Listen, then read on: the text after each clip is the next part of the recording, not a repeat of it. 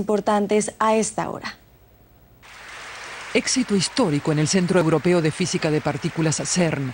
Los científicos llevan décadas buscando el bosón subatómico de Higgs, la llamada partícula de Dios, porque lleva masa y orden al universo. Ahora parecen haber dado con ella, según confirmó hoy el director general del centro, Rolf Hoyer. Yo diría que lo tenemos. La búsqueda del bosón de Higgs es una de las principales tareas del centro ubicado en los Alpes suizos.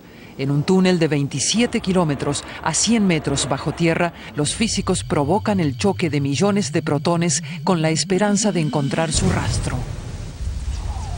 Aunque los resultados tienen que analizarse aún con más detalle, los expertos del CERN son optimistas y creen haber dado respuesta ya a uno de los últimos misterios físicos.